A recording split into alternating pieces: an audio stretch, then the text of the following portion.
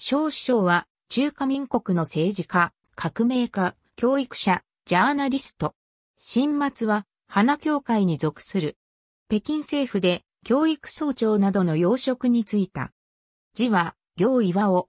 筆名は、紀中期、蘭花三人、小切、青切、秋切など。1901年、武将の良子書院で学ぶ。その後、主刑の塾で教師の一人となった。翌年、南京陸軍学堂で軍事を学び、上海愛国学者に加入する。1903年5月、上海で祖法の編集となり、冬には高校らと花協会を組織した。1905年、少子省は日本へ渡り、生息学校で英文を学び、法政大学法生息生科に入学する。1908年、エディンバラ大学に留学して、法律、政治を学んだ。辛亥革命勃発後に帰国し、1912年、春、高校、海ギドラと上海で民立法を創刊して、昭和その主筆となる。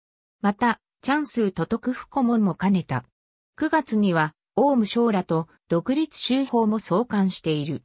少子小別影、最新詩な用心伝1941年、翌年の二次革命に孫文派として参加したが、敗北して日本に亡命した。1914年5月、雑誌、木の絵虎を創刊し、高校が組織した王子研究会にも初期として加わっている。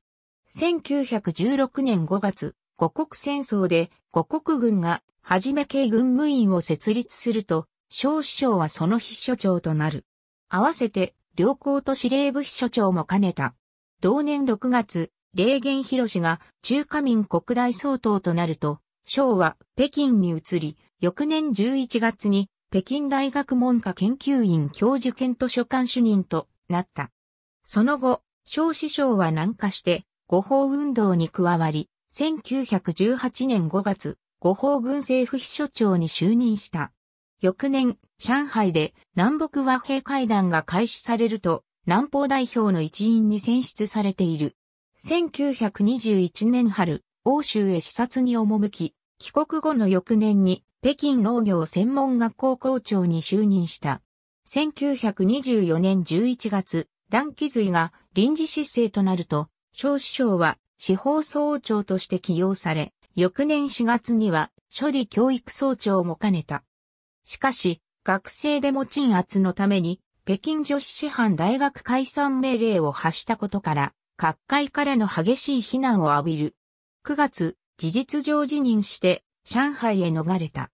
1928年、国民革命軍が北伐を完了すると、省は北京政府の一員とみなされて指名手配を受けてしまい、欧州へ逃亡した。1930年、超学寮の招聘を受けて、少子省は帰国し、東北大学文学院教授に任じられた。翌年には文学院院長に昇進した。満州事変勃発後は上海に戻り、弁護士を開業している。1934年、上海法政学院院長に任じられた。1937年4月、非殺政務委員会委員兼法制委員会主任となる。日中戦争勃発後、少子省は重慶に移る。国民賛成会賛成員を4期にわたって務めた。戦後は、政権、雪のりの両国民大会代表に選出されている。1949年3月、国民政府から中国共産党との和平交渉代表に任じられた。